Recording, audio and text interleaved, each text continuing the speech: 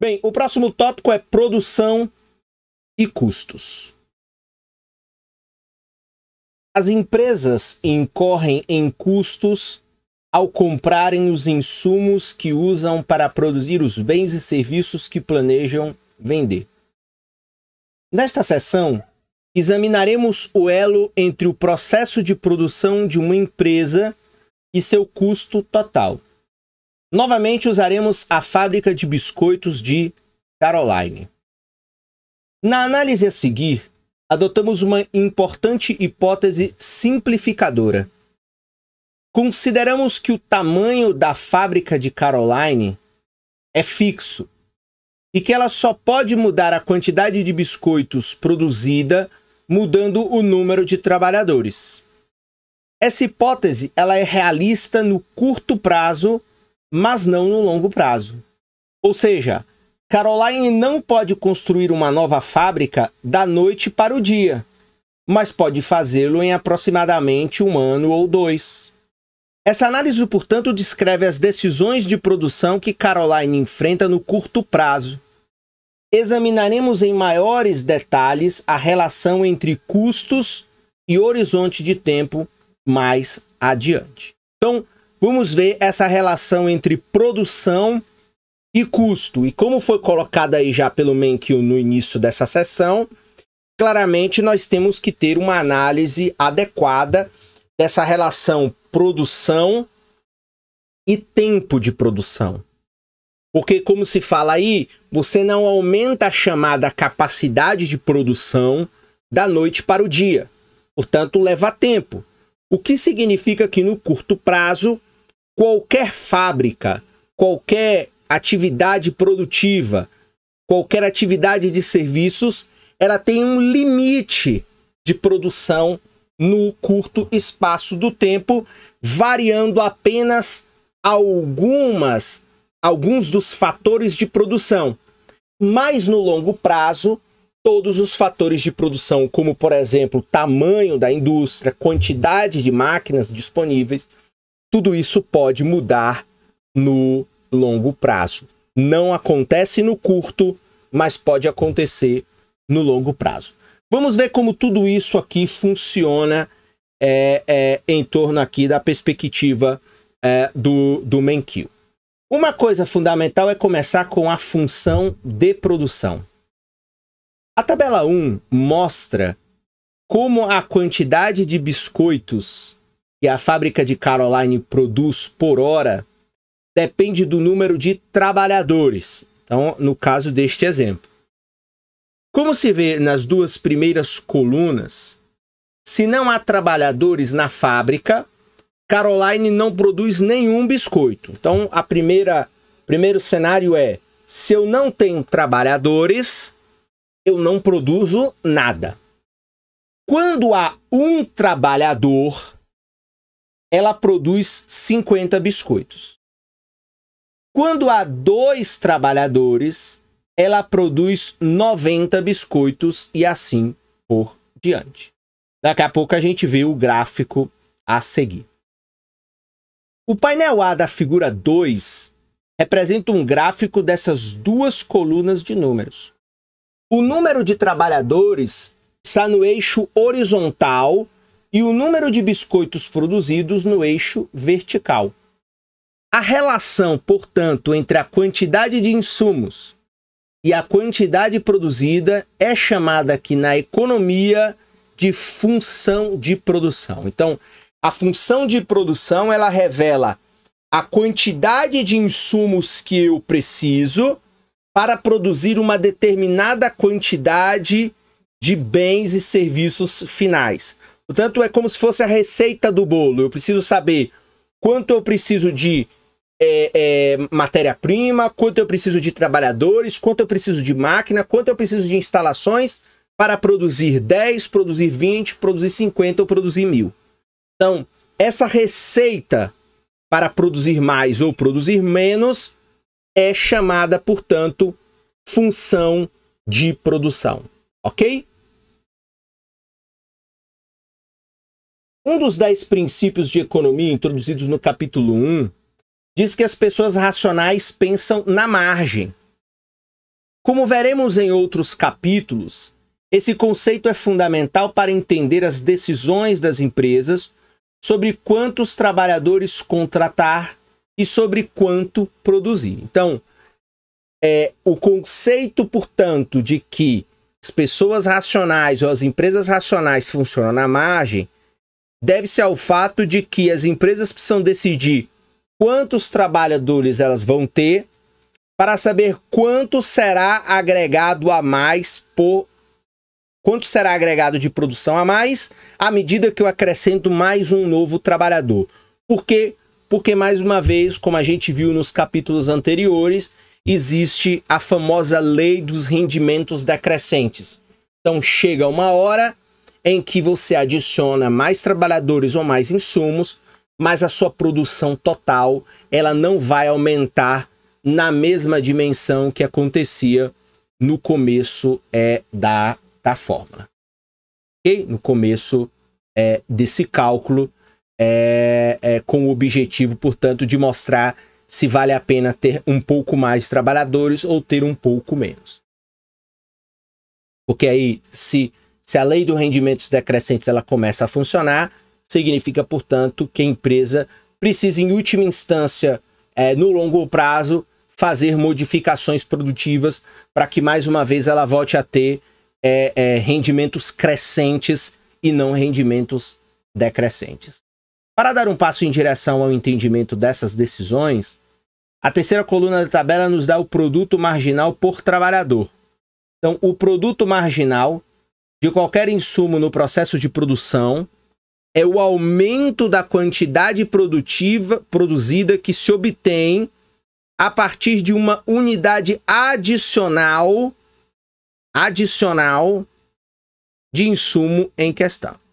Então, o produto marginal, aquilo que a gente já falou, então, o produto marginal de qualquer insumo que você acrescenta na produção vai representar o aumento da quantidade produzida que se obtém a partir de uma unidade adicional do insumo em questão. Então veja, quando o número de trabalhadores aumenta de 1 para 2, a produção de biscoito sobe de 50, então o primeiro trabalhador produzir 50. Intuitivamente acharíamos que o segundo, com um segundo trabalhador produziríamos então agora 100. Mas não acontece isso. Então a produção sobe de 50 para 90. De modo que o produto marginal do segundo trabalhador agora são 40 biscoitos. Então, o primeiro trabalhador sozinho tem capacidade de produzir 50 biscoitos, mas quando eu coloco o segundo trabalhador, o segundo trabalhador me acrescenta 40 biscoitos. E quando o número de trabalhadores continua aumentando, então, digamos que quando o número de trabalhadores sobe de 2 para 3, a produção de biscoitos aumenta de 90 para 120. De modo que o produto marginal do terceiro trabalhador agora são 30 biscoitos. Na tabela, o produto marginal aparece no ponto médio entre as linhas, porque representa a mudança na produção à medida que o número de trabalhadores aumenta de um nível para outro. Ok? Então, antes de avançar, veja. Aqui na tabela 1, nós temos a função de produção e o custo relativos à fábrica de biscoitos de Caroline. Então, nós temos aqui a quantidade de trabalhadores, a produção que é possível. Então, veja, é, quatro trabalhadores produzem 140 e cinco trabalhadores agora produzem 150. Veja como o produto marginal de um trabalhador a mais diminui a ponto que, quando você acrescenta um sexto trabalhador, esse sexto trabalhador em relação ao quinto trabalhador só lhe adiciona cinco de produção é, a mais. O custo da fábrica fixo, o custo do trabalhador que aumenta, portanto, o custo total dos insumos, custo da fábrica mais custo dos trabalhadores, note que também vai aumentando e aí a empresa precisa achar qual é o ponto ideal de dimensão produtiva que precisa que precisa ter. Porque note, é, quatro trabalhadores cinco trabalhadores ou seis trabalhadores, o rendimento marginal ele já passa a ser muito baixo em comparação aos trabalhadores, aos poucos trabalhadores que no começo é, é, aqui, portanto, da tabela nós tínhamos. Então aumenta os custos, e quanto mais trabalhadores eu tenho, mais eu tenho que remunerar esses trabalhadores, e consequentemente você aqui tem é, que fazer uma análise. Então observe que à medida que o número de trabalhadores aumenta, o produto marginal ele diminui. O segundo trabalhador tem um produto marginal de 40, o terceiro de 30 e o quarto de 20. Essa propriedade é chamada produto marginal decrescente, ou é a lei dos rendimentos decrescentes. Pode ser chamado assim também em algumas literaturas é, é, econômicas. Inicialmente, quando há poucos trabalhadores empregados, eles têm fácil acesso aos equipamentos da cozinha de Caroline.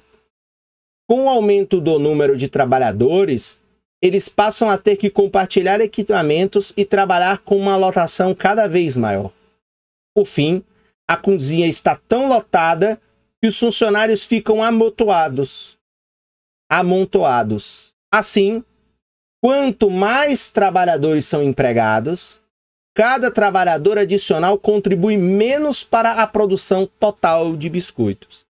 E aí na economia você tem algumas análises, como por exemplo, Pode ser que a contratação de tantos trabalhadores acabe atrapalhando os trabalhadores, os, os, os, os primeiros trabalhadores, que inclusive podem até ser mais eficientes. Então, muitos trabalhadores, como cito o exemplo, dentro de uma cozinha para produzir é, é, biscoitos, do qual começa a ter uma lotação, do qual a operação começa a ser dificultada, isso mostra, portanto, de que não faz sentido técnico econômico de que você continue aumentando a quantidade de trabalhadores dentro daquela estrutura dada. Porque, mais uma vez, no longo prazo, é possível expandir marginalmente todas as produções. O produto marginal decrescente também pode ser visto na figura 2. A inclinação da função de produção, elevação dividida pela distância, nos diz qual é a variação da produção de biscoitos na fábrica de Caroline? A elevação para cada insumo adicional de trabalho distância. Ou seja, a inclinação da função de produção, a inclinação da função de produção mede o produto marginal de um trabalhador. Com o aumento no número de trabalhadores, o produto marginal diminui e a função de produção se torna mais horizontal. Então vamos ver aqui o que, é que a figura 2, portanto, nos diz de maneira é mais intuitiva é, em relação à questão da função de produção. Então, a função de produção de Caroline é a curva de custo total. Então, veja, a função de produção no painel A mostra a relação entre o número de trabalhadores empregados e a quantidade produzida. Então, no, quantidade produzida aqui no eixo é, vertical e a quantidade de trabalhadores no eixo horizontal. Então, um trabalhador produz 50 biscoitos, dois trabalhadores produz 90 biscoitos, três trabalhadores 120 biscoitos, quatro trabalhadores, cinco e seis trabalhadores. Então, note que a curva ela vem horizontal, vem mais vertical e depois ela fica horizontalizada no topo, no seu final. Então veja, a função de produção no painel A mostra a relação entre o número de trabalhadores empregados e a quantidade produzida. Aqui o número de trabalhadores empregados no eixo horizontal é o mostrado na primeira coluna da tabela 1 que a gente viu a tabela 1 na página anterior. E a quantidade produzida, que é o eixo vertical, é mostrada na segunda coluna.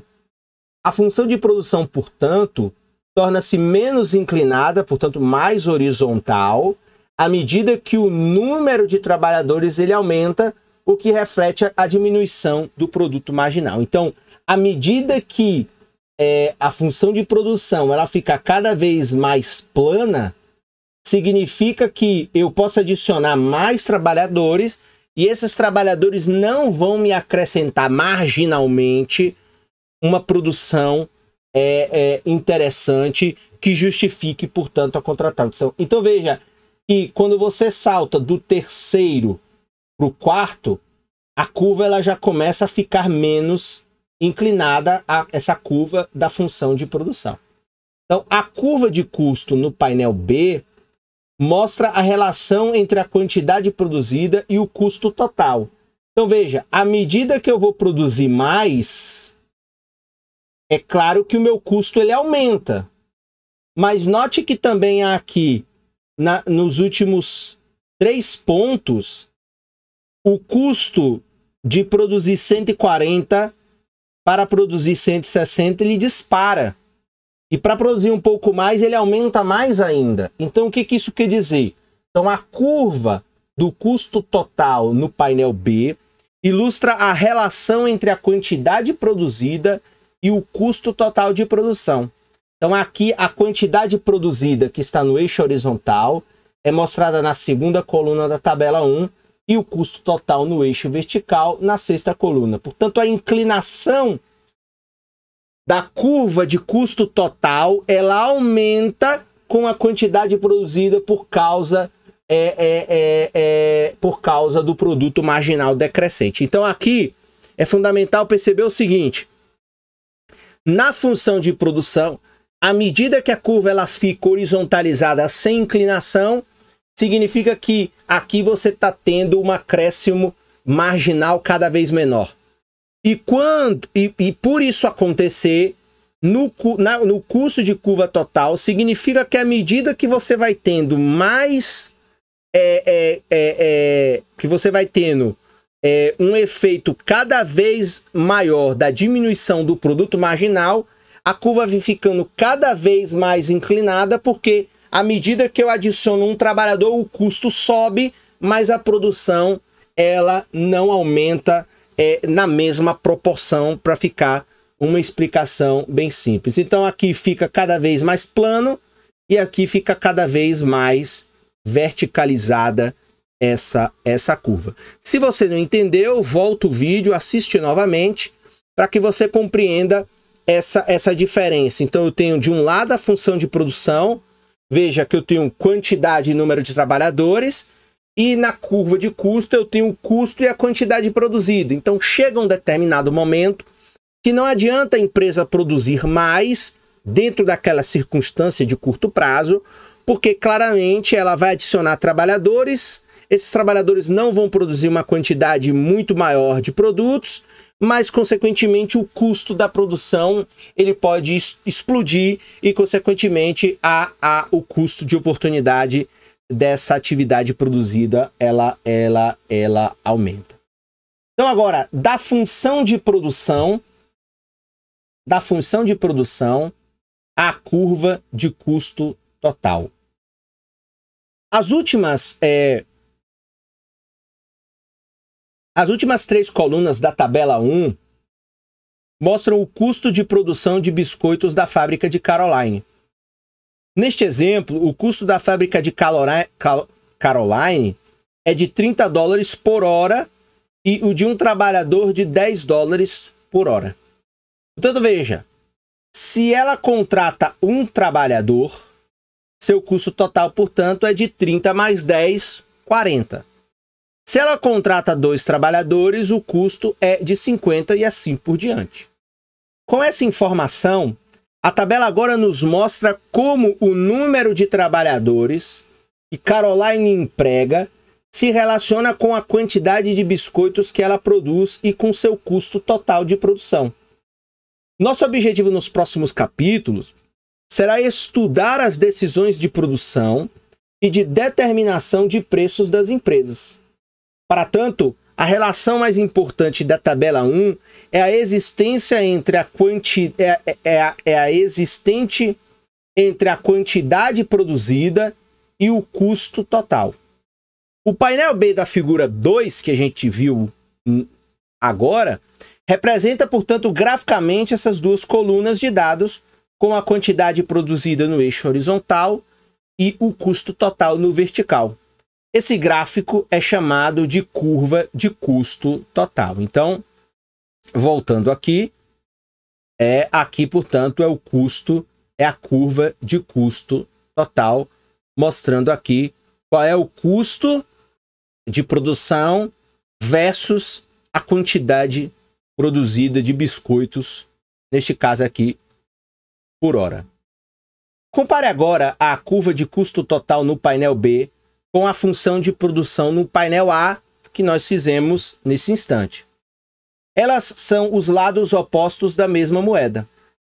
Então veja, a inclinação da curva de custo total aumenta, fica mais vertical, então a inclinação aumenta, com a quantidade produzida, enquanto a inclinação da função de produção ela diminui. Então, essas mudanças da inclinação ocorrem pelas mesmas razões. Uma produção elevada de biscoitos significa que a cozinha de Caroline está lotada de trabalhadores. Como a cozinha está cheia demais, cada trabalhador adicional acrescenta menos à produção de biscoitos, refletindo o produto marginal decrescente. Portanto, a função de produção fica relativamente achatada. Então, a curva de produção ela aumenta, mas chega uma hora que ela começa a ficar achatada, plana, porque mostrando é, os resultados e os efeitos é, é, do, da lei dos rendimentos decrescentes, ou aqui no caso, é, os efeitos do produto marginal decrescente. Mas vamos inverter o raciocínio. Quando a cozinha está lotada, produzir um biscoito a mais requer muito trabalho adicional e isso é muito dispendioso.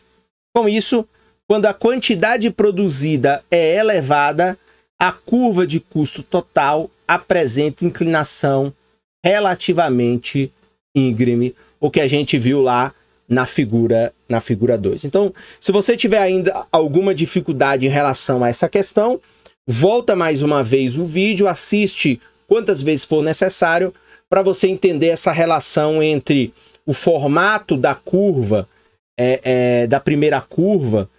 Deixa eu voltar aqui.